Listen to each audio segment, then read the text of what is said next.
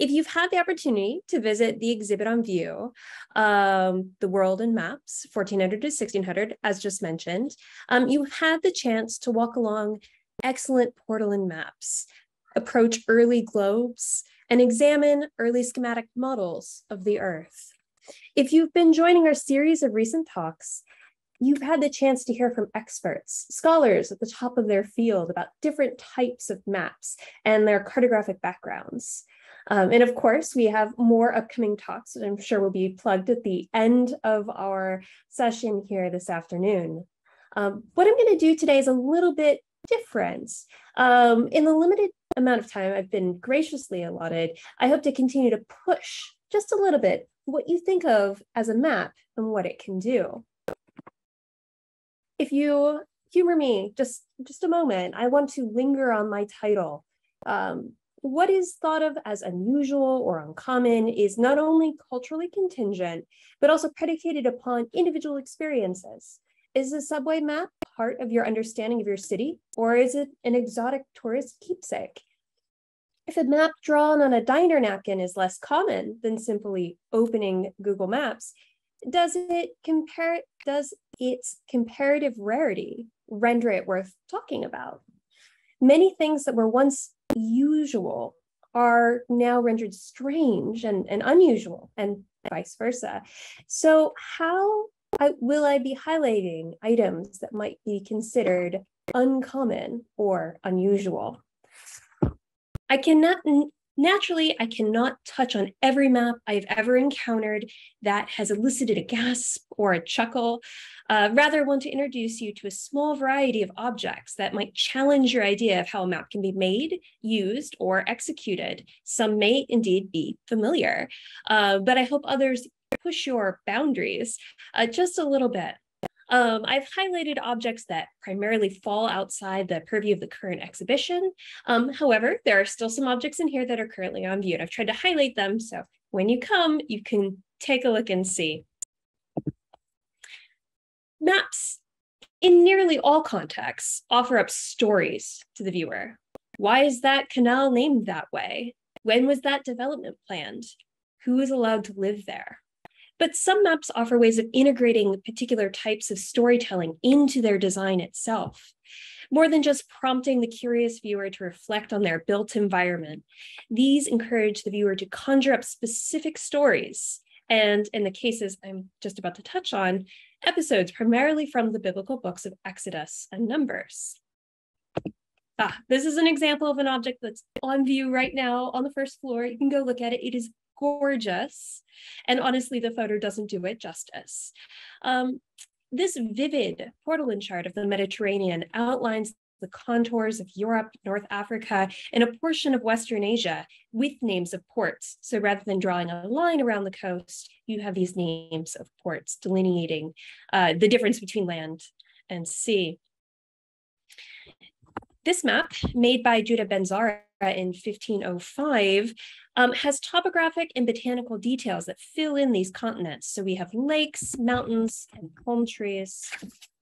Although you may never use a map quite like this in your 21st century life, many of the elemental components are visible and identifiable. This looks like a map, especially once your eyes have sort of adjusted to the unusual use of like ports, right? To like trace the outline versus, you know, when you open Google Maps, maps usually have a high contrast difference between, say, ocean and land using uh, blue and green.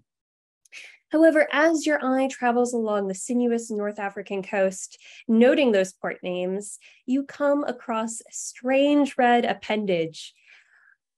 Both in size and saturation, it stands out from the soft cream color of the parchment. For the initiated, identification is simple. We are looking at the Red Sea, naturally. For our medieval map novitiates, this might be a little bit humorous, right? Such a literal mode of representation seems a bit uh, forceful, a bit over the top, um, but yet incredibly effective. Once you know you've seen the Red Sea, you've seen the Red Sea. Looking a little bit closer, we can better observe a land bridge that has formed at the top, separating the leftmost lobe from the rest of the body of water. I love the little waves as well. It's such a nice detail to emphasize, yes, this is a sea. this is, as Ben-Zara notes on the parchment itself, the point at which Moses parted and crossed the Red Sea. Rather than filling back in, as is usually part of the account, uh, the bridge is permanently open, open, freezing that particular instance in time and memory. The narrative preservation rends the moment persistent. Lest you think this is the only time in which the Red Sea is so immortalized, I can assure you that it is not only repeatedly represented in portolans as this sort of red appendage, uh, but that this mode of representation has bled into other contexts. In this slide, a map of bodies of water in green and, well, red spill across the gutter of this opening and up into the space around the text block. This opening is from Gregorio Dati's La Sfera, a work on geography, navigation, and astronomy rendered in verse which if you might wonder, why would I need a book on geography and verse? Um, they were incredibly popular in early modern Italy. So, you know, getting your geography lessons with a little bit of rhyme. This map here is more conceptual than geographically correct. The bodies of water are unlabeled and attenuated. Strange cities float in sort of undelineated space. And as you may have already noticed, the Red Sea, looking a bit like an inflamed like appendix, stretches onto the page.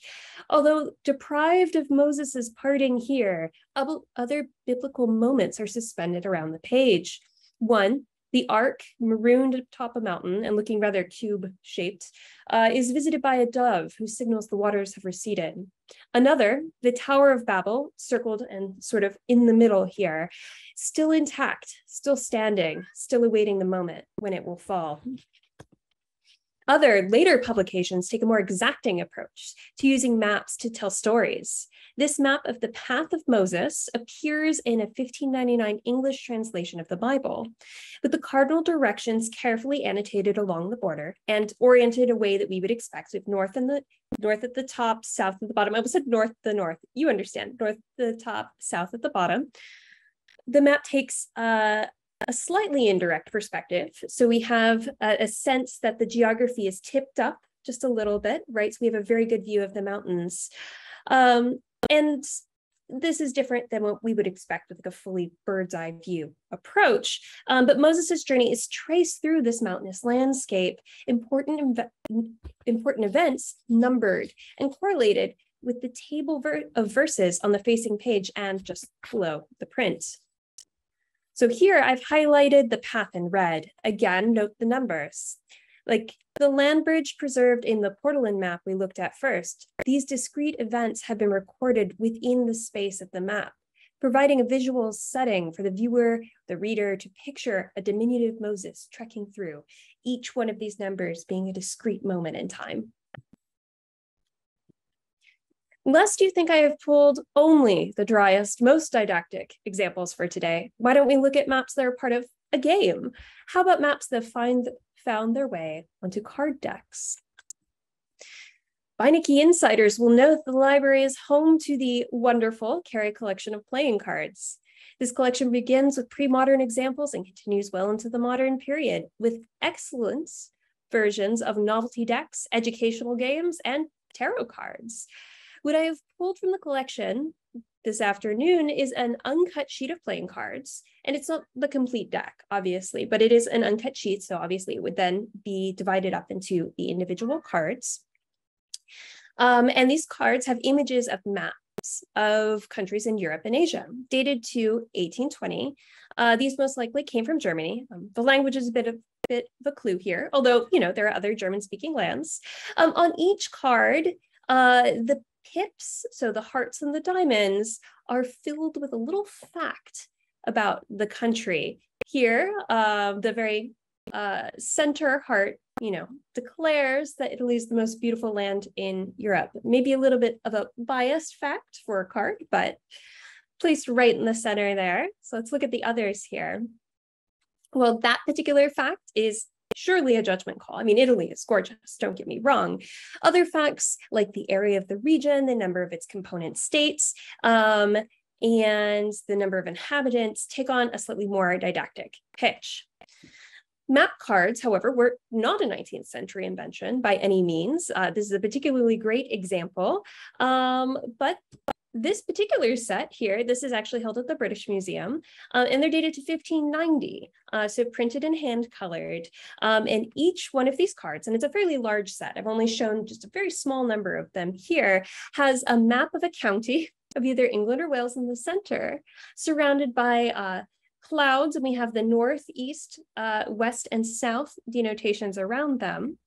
Um, and then they have facts about the county and a little bit of uh, sort of colorful text at the bottom that might talk about who lives there, um, you know, what is the major like agri agricultural export of this county. Um, there's an attempt to show scale on these tiny little maps in the middle of cards as well, which I find fascinating, to be honest. So you have this little, little scale at the bottom. Um, Included in this group of cards, there are several that do not center an individual county, including there is actually an excellent card that has a picture of Elizabeth on it. It's lovely. Um, these are digitized, so should you feel you need to go page through the British Museum's collection, this is available to you. But let's look at just one specific card. Now this one has is just focused on the total map of England and Wales. Uh, like the other cards, this one features four lines of facts at the top and a rhyming four line poem at the bottom. In this instance, the poem even serves as a sort of key to the miniature map at the center of the card, uh, noting that you know each of the regions is going to be noted by its first letter. So we've seen maps that can be part of a game, maps that can tell a story, but maps can also memorialize. Um, they can be used to record achievements. They can be used to sort of uh, elevate the idea of a particular achievement, whether this is an expansionist achievement or um, some type of uh, exploratory achievement. And one of the best examples in the collection is actually right here. Before we get to the uh, silver medal on the right, though, let's start with this image on the left. I adore this frontispiece. There's quite a lot going on. Um, so this belongs to Samuel Purchas's Purchas His Pilgrimes, printed in 1624. Um, there is quite a lot going on. Like I said, uh, from the effigy of Queen Elizabeth I up in the right-hand corner um, to the diminutive author portrait between the two globes at the bottom. Um, this work, which claimed to build on earlier examples, um, is a series of accounts of famous navigators. It actually begins with the idea of following the ancients all the way through to modern um, sort of accomplishments of the great navigators. And so here I've highlighted uh, in little orange circles. Uh, at the top, you can see this tiny round portrait in this gallery, this arcade of, of portraits of famous explorers.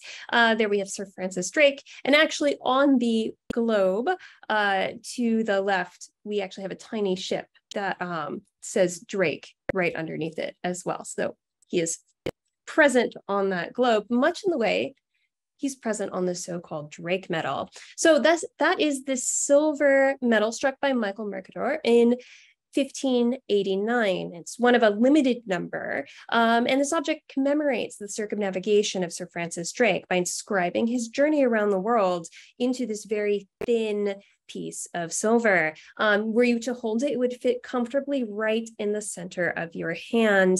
Um, it is wafer thin, and because it is so reflective, being made of silver, um, it actually is very challenging to sort of get a sense of what is on the metal. So hopefully here I have done a reasonable job of highlighting different elements here. Um, so I've outlined the continents in red and lightened them up a bit and following the uh, path of his circum circumnavigation of the globe, um, I've imitated the sort of way that it was punched in to the uh, surface of the metal here in orange. And you can see now, maybe a little bit clearer, how an object like this uh, was made. Um, obviously, this doesn't have um, a use as far as navigation. You could not use this to navigate anywhere. This is memorializing an event, um, an achievement uh, that was uh, considered to be uh, monumental. Okay, but maps can also appear when you're practicing a skill. And I don't just mean when you're practicing your geography um, or you're taking a quiz, uh, but can also appear in sort of unexpected places. This is one of my favorite objects of the Beinecke. Um, and this is a map made by Amelia Giddings in 1815 when she was just nine years of age. It's not a widely circulated map. It's not used for illustrating a book, and it's definitely not a useful navigational map. Um, it's worked on a linen support, and the map has no scale, no directional indicators. Rather, this is an example of a sampler map here because of the condition of the map, which is actually quite good, but nonetheless, it is an embroidery um, and the sort of way that it presents in a digital sphere. I've, I've highlighted it here so you have a little bit more contrast. You can get a better sense of what we are looking at. Like many of the portolans that are on display right now, this map, as is the case with a lot of samplers, has the name of the person who executed on here. Executed in this uh, even count stitch, we have Amelia Giddings, aged nine years, in uh, completed in 1815. And um, you may notice that across the top, it says map of England, but because the of the condition of the embroidery, um, it's pretty hard to read. So I've highlighted it here in red. As I mentioned, it's actually fairly common for people to write their names on their samplers. We all we have quite a few with names of uh, people who worked them along with the date they were completed and very often the age of the person who completed them. When working on this particular uh, embroidery map, uh, Amelia used a couple different types of stitches, ranging from the stitches used for her gold and uh, green uh, vegetal border around the outside of the map uh, to the way that she uses an even count stitch um, to write out all of the names the idea of using a map as a topic um, for a sampler is not necessarily totally unique, even that it, might seem something quite unusual to us today. Um, and we have two examples here uh, worked in different ways, in different manners, um, and with different levels of finishes. I've zoomed in here a little bit. I'm really impressed with this particular map, which again is at the Beinecke, uh, because of the way that the uh, letters and the words are actually executed. They're so finely executed that when you look at it online, you think, oh, naturally, this is either written in with a pen or this was printed and she embroidered on top of it. Um, but as you can see in the second inset detail here, um, those are actually embroidered like the the names of places are embroidered um, they're so finely done uh, and you can see that she's using different types of thread to create a contrast around the edge. Uh, it's, it's a slightly different type of map. Um, I mean, again, the sort of uh, cartographic accuracy is not necessarily the point. You think of these as learning tools, not only for a young woman who's learning how to stitch, uh, because it, samplers were considered sort of integral to uh, this time period and teaching young women particular skills. But it also is something that, you know, apologies for returning to the didactic again. This is a good way for you to learn all your counties or to learn all your cities or learn all your countries, right? Um, samplers that were didactic um, are actually quite common. Um, maps are just one. Uh, one of the more unusual samplers I've seen is this one with compound division at the Metropolitan Museum of Art here in New York, um, which in which uh, Mary Ann Sadler, also aged nine years, um, uh, embroidered this little bit of compound uh, division here.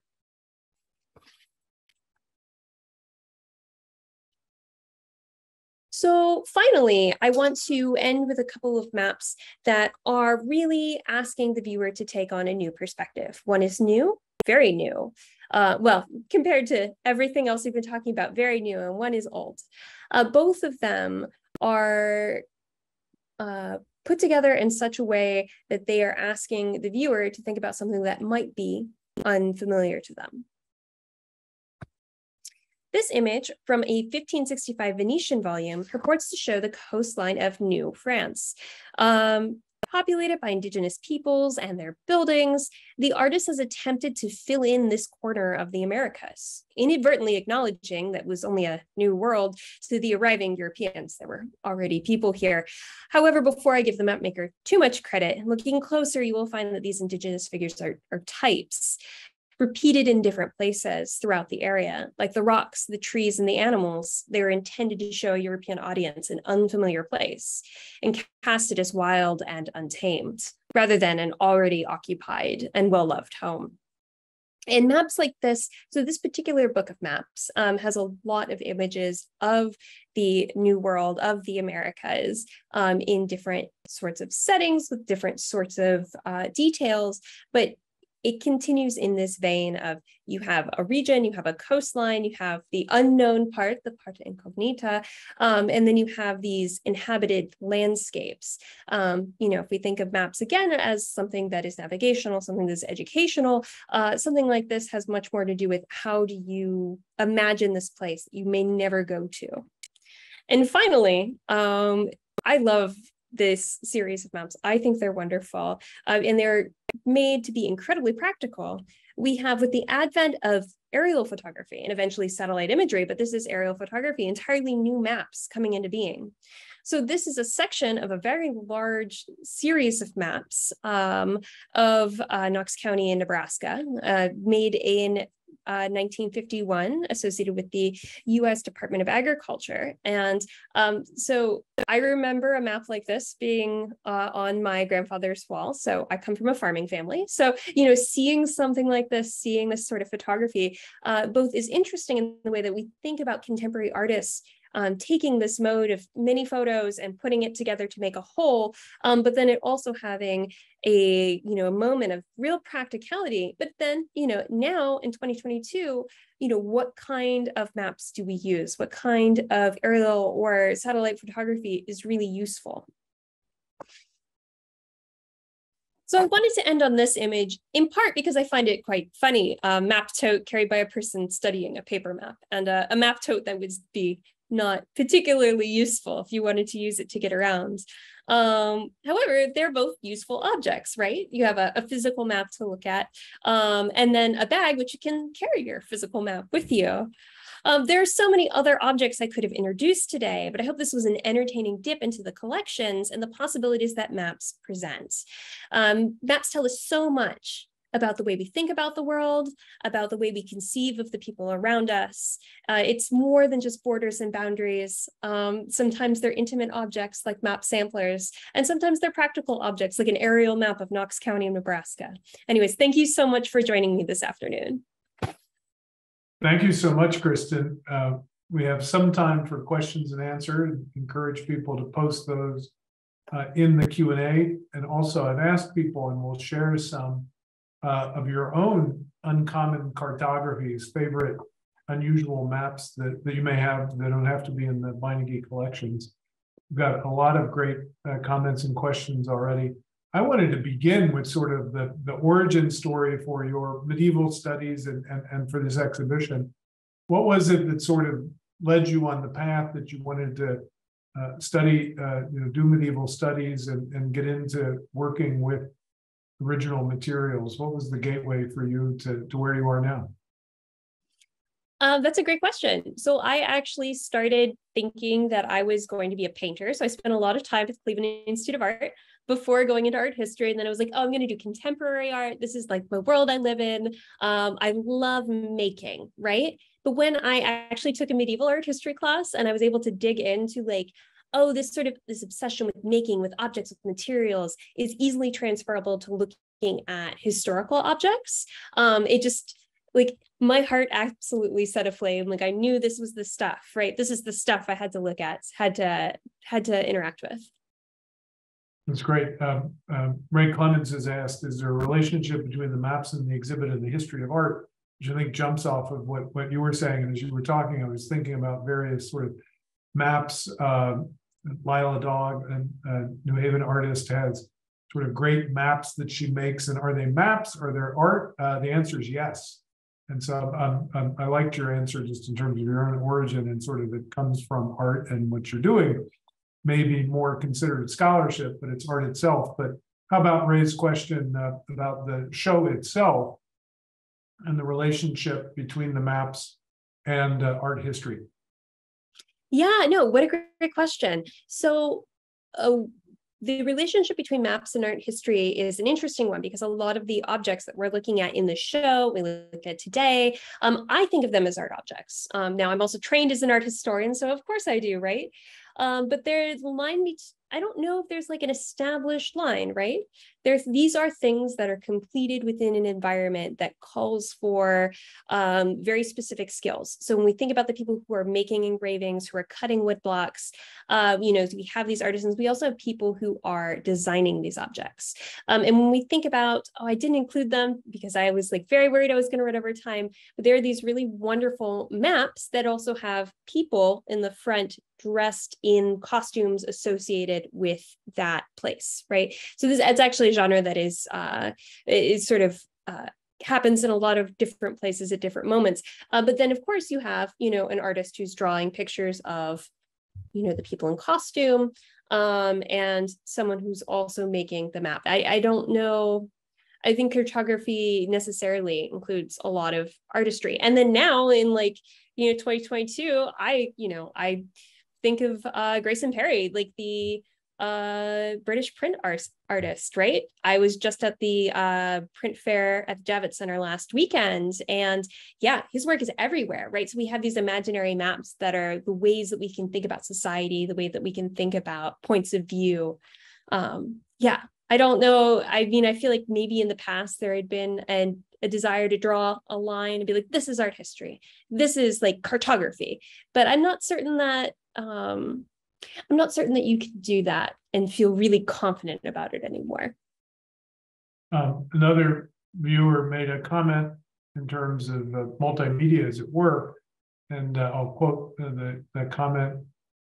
A musical score is another kind of map, or could be seen as such. In some modern scores, George Crumb, for example, may make the score spherical, not linear.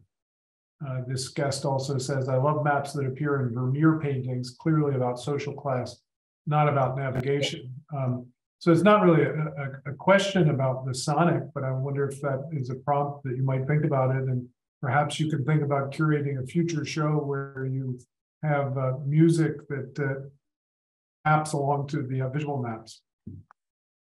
I mean, I love that. And there's definitely moments where you think about visual maps, you think about music coming together. I also love the mention of the map in the background. Um, if any of you have gone to the Tudor show in uh, New York at the Met, you will walk around and you will notice that there are maps sometimes in the backs of these images because maps are also ways of talking about power, right? Ways of talking about where we are, uh, where other people are, uh, where big events happened. Um, yeah. We have a uh, question, can you comment on the potential use of maps for propaganda purposes? Absolutely. Okay, so these got cut. Um, I was my uh, initial run through of this talk, I went way over my time, and so I was like, okay, all right, I got to cut all these. But maps are, are an incredible, incredible opportunity for propaganda, right? Because whose sea is it when you write down like where this sea belongs right uh who i mean you think of like even back to the romans right what do they call the mediterranean like like our ocean, right? Our sea, like Mare Nostrum, right? Um, but they can also be used to be like, okay, you know, this part of the country is is the same as this part of the country. You can use it as a way to demonstrate um, control over something in an imperialistic uh, endeavor. Uh, yeah, maps absolutely can be used as propaganda. Um, I'm trying to think there are really great early modern uh, satirical images, satirical prints that use maps in this way as well. Uh, sometimes you'll have uh, like a map of Europe and like each of the countries will be personified and fighting each other and it's you know speaking to a particular moment i think the beinecke has a handful of these from world war one from about 1914 that um you know have take the map you know uh, you know, putative geographic visual descriptor and then change it into something that communicates in an entirely new way. Getting lots and lots of interesting uh, comments and questions. People are very taken by the embroidered maps. And I have put in, I put into the chat the digital collections links for the Amelia Giddens age nine years map and the Europe worked by Lydia Smith, which were two that, that came up uh, quickly that are digitized. Someone asked, were they on view? And the answer is no, they're not in the show. Uh, these are what, what you're doing. I think it's sort of like the post-credit scene for a movie. It's really sort of great. It's the, the bonus scene. So they're not on view, but you could view those two. And perhaps you may know, Kristen, that there may be others that are digitized. Uh, but people are interested in those. So take some time to, to share more thoughts about those maps. Uh, and uh, Ray asked if, if you know how they came into the collections. Uh, but, but tell us more uh, and or questions that you have looking at these embroidered maps. Yeah, so there are two embroidered maps at the Beinecke that I'm aware of, and both of them are digitized. So, and at a high quality too. And you can actually, on the Amelia Gettings, they've taken time to do the back as well, which, if you are a textile person like me, it's really important to be able to see both sides, right? It tells half the story from the back. The Yale Center for British Art also has a very nice embroidered map as well. Uh, as far as how these came into the collections, I'm not sure with these specific items. Um, and you would think that they're so personal, right? Like, how are they entering different collections? I'm not entirely certain. I could speculate, but I don't know for sure.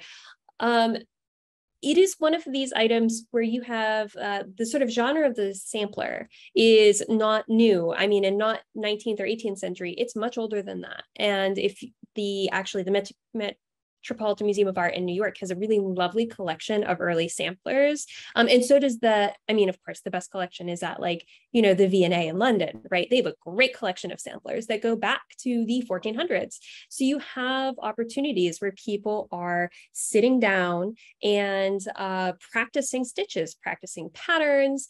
Um, I'm thinking of there's an early German sampler where someone is practicing, she practices her Latin phrases, and then she's got little like religious figures that she's practiced as well. Um, while this was some, seen as something that was mostly done by women, there are examples of uh, samplers done by young boys as well. Um, and you think it's probably a, like a fantastic activity for like fine motor skills. I know that like maybe also again, I come from a farming family. I had to make samplers as a little kid. It's like a, it's sort of a thing that continues, right? Um, but it's something that um, has a really long and rich history and a history of, you know, if we think about this incredible sampler dealing with compound division, we're looking at you know somebody who's learning math and they're also applying it to something that they're making um, you're getting multiple skills at once and i imagine for a lot of the maps of europe the maps of england you know this is a way that you can learn your geography right it's not going to be if you tried to navigate based on the uh, map of england we have here probably wouldn't work out great, right? But as like an educational tool, it's wonderful. And it also gave the person who made it an opportunity to really practice um, different types of stitches around the edge as well um, with these really vivid flowers. Thank you. Um, we have a question and, and a comment and a question, uh, maybe a prompt, and again, I'll quote. I really like the maps you often see around Valentine's Day depicting, depicting uh, people's hearts with all the traps and detours encountered in uh, encountered in navigating therein. I've also seen a postcard with a railway map showing the stops on the route to matrimonial bliss. So it's a sort of holiday map. And a question uh, from a sort of history of science, history of medicine, and again, I'll quote, have you run into any maps in the context of the body? I am interested in medical maps from the medieval time. Do you have any comments about this kind of map? Okay, so medical maps, um, we do have a fair number of really great anatomical images from the Middle Ages, really mostly from like the late Middle Ages, the stuff, the really wonderful early like anatomical images that are essentially a map of the body with like the veins, this sort of thing, are coming through um, Arabic and Persian manuscripts, right? We have the earlier versions and they're really fantastic. They're lovely. Um, I think the uh, Medical Historical Library at Yale actually has at least one of these that's digitized. So for the interested person who wants to go out there, as far as um, comparing the body to a map, this is harder. I have not seen this in a medical context. However, you do get images where um, the world becomes almost the body of Christ, where you'll end up with his head at the top, you'll get a round globe map, and you'll have his hands on one side and his feet at the bottom, which is uh, you know, striking for all sorts of reasons, um, but isn't necessarily having like a medical correlation. Um, sometimes I guess you could think of uh, when people have maps of different regions of the world, like, you know, by temperature, correlating that with a lot of medical theory had to do with humors, which also had to do with temperature, you know, what's healthy here, what's healthy there, that could also fit into that. But as far as like a medical map, I can't think of anything at the moment. That doesn't mean it doesn't exist. Um, the Wellcome Collection, if you check out their online catalog, you might be able to find something fun. They've got lots of weird, good stuff. Uh, your talk is generating lots of interest and enthusiasm and sharing. Somebody again quoting, I ordered bagels from Ess-a-Bagel, First Avenue, New York, and they arrived with a colored oversized, colored oversized postcard of New York City map. Uh, so that's fun to think of. Um, again, a New Yorker uh, and and uh, my favorite uncommon map is the New Yorker cover dated December 10th, 2001, entitled New Yorkistan. And uh, Saul Steinberg papers are in Beinecke, so you could uh, do another uh, uncommon cartographies um, using the Steinberg papers, obviously. Uh, many of us think about the great E. Sims Campbell cartoon map of the Harlem Renaissance that was on view not too long, also digitized. Um, Let's yeah. talk about the show itself, though. Uh, so you've talked again the sort of post-credit scene, the extras. Um, talk a little bit about how you decided uh, and what what you know what drove you to include what you included. And I'd also say, uh, you know, shout out to you and Ray. Uh, we've talked about uh, behind the scenes, as it were. This show has had lots of popular interest and engagement. It's great to see visitors gathering around, talking, and, and the labels are magnificently accessible. It's a show that speaks to and connects to scholars and it speaks to and connects to general audiences. So, one of you just talk a little bit about from the beginning and as you went along, your curatorial frame and decisions that you made about what to include, and also some about the labels and descriptions because they really are terrific. Yeah, so my way of like finding my way into this exhibit was a little bit of uh, circuitous, right? So um, if anyone, like there's probably one of my friends watching who knows my research. Um, for everyone else, I work on cloistered nuns. They don't need a map, they're never leaving um, they're not great map makers. Let me put it like that. Um, so I think about people who stay in one place uh, after in extreme enclosure. So they, unless it's an emergency, they never leave. So they're thinking about very small worlds, right? And this is the opposite of my dissertation research. So in a lot of ways, it was a new challenge that was really exciting and fun. Um, I started as uh, like a curatorial fellow uh, last fall, and Ray was working on this exhibit, and he was like, "Hey, do you want to work on this with me?" And like I went to the exhibits room and started opening boxes, just like what's been pulled, what's here, you know, what are we looking at? And just like everyone I open and like, oh gosh, this is the best thing I've ever seen. And then the next, and oh gosh, like, oh man, I want to like use this too.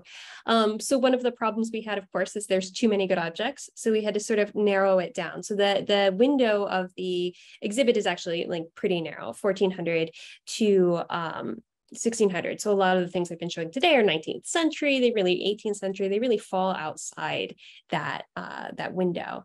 Um, and what we were thinking about is like the development of mapping during that time period. Uh, now the Beinecke's collections are extremely strong when we talk about uh, Western and European maps. Um, and so that's really where the focus of the show is, although we do have a lovely case that we've tried to bring in some other maps from around the world to, to think about, you know, what do maps mean when, based on where they're made right? Because they absolutely absolutely do ma- matter. Like when you look at uh, some of the portolans of those that are made in venice uh, you know what? Like england northern europe they don't really get on the map because why right? You're not sailing there. Why would you want that? So maps are so place and person dependent. Um, and narrowing that down was so hard. There were definitely objects that I really wanted to show that we're going to make it just because we had too many things.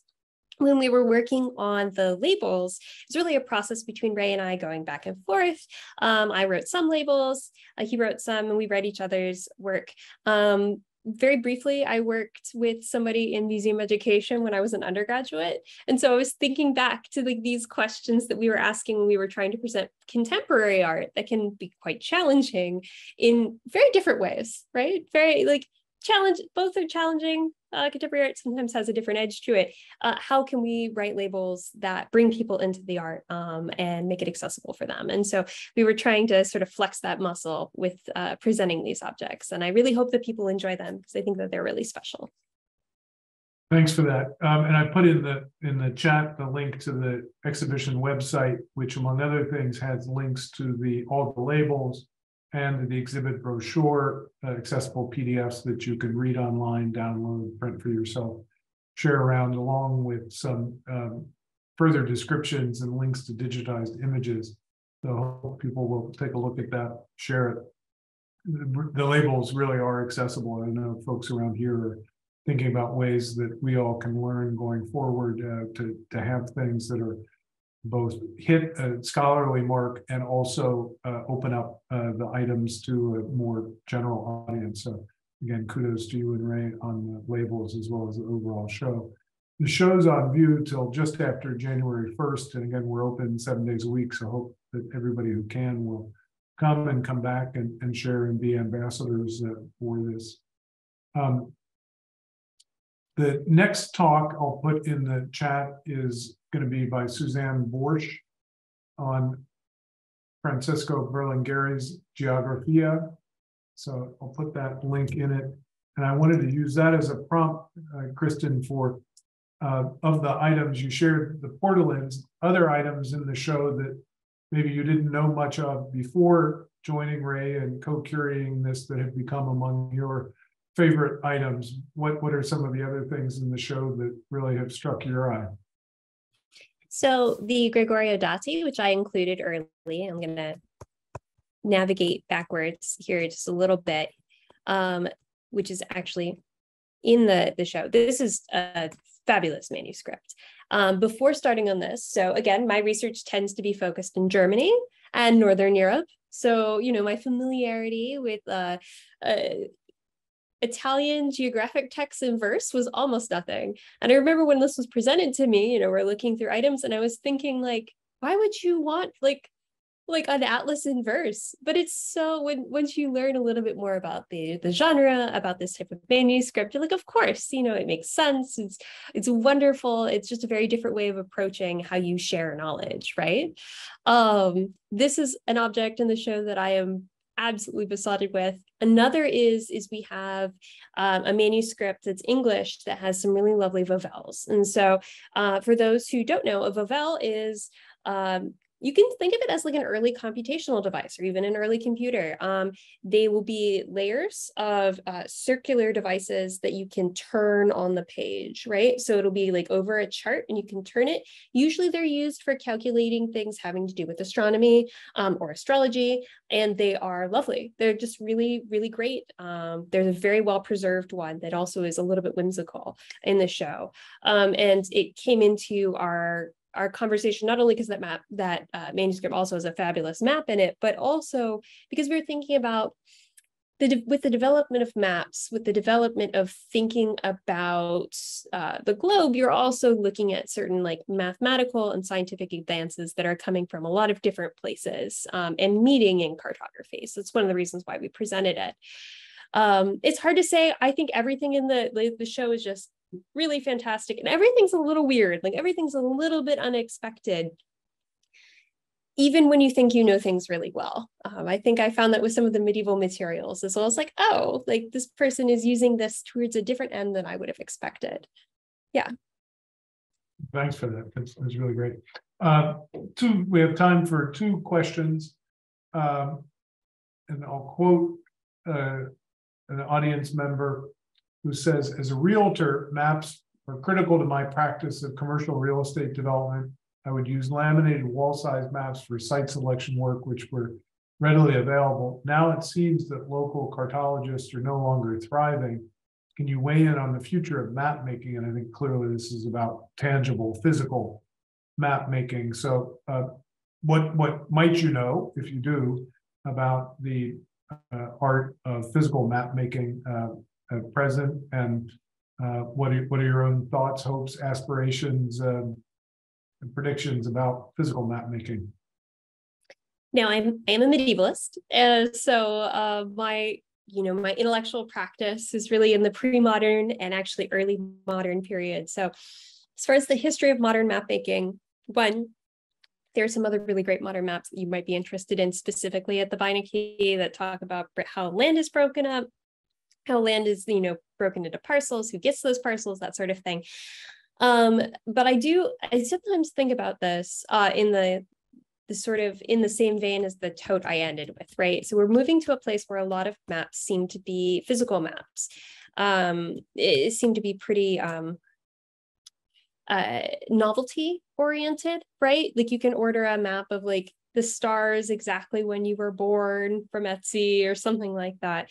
Um, I don't know what the future of physical maps are. Um, I mean, they're still really important. I still use physical maps when, but tends to be in things like getting around a museum, right? Um, I don't think I own an atlas map quite like this person's using. Um, although we used to have them in our car because you never know GPS. Um, I can't really speak to that, um, but I really hope that we still have space for people who are making like accurate cartographic maps in the future. Um, yeah. Terrific.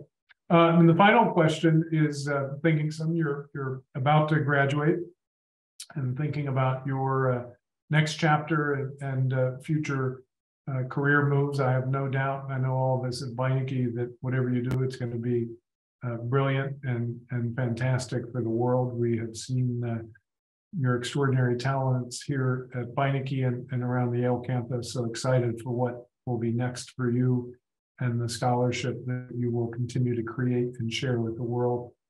Um, but I wonder for audience members and those who may be watching later uh, on on YouTube, who are not yet really into archival practice and, and maybe haven't even worked in special collections. They're obviously interested uh, because they're with us today. But if you have any tips as somebody who's now skilled and practiced in working special collections of encouraging somebody to, to, to take the dive into the pool, as it were, and, and some uh, tips maybe on, on how to swim amongst archival collections. So based on your great experience now. Uh, what kinds of uh, tips and, and prompts might you give to newcomers uh, getting into archives and special collections? Okay, so the first is if you're interested in archives and special collections, the best way to get in there is to just go and ask. You know, make an appointment. But if it is your local historical society or the New York Public Library, almost everybody has a way for you to view things.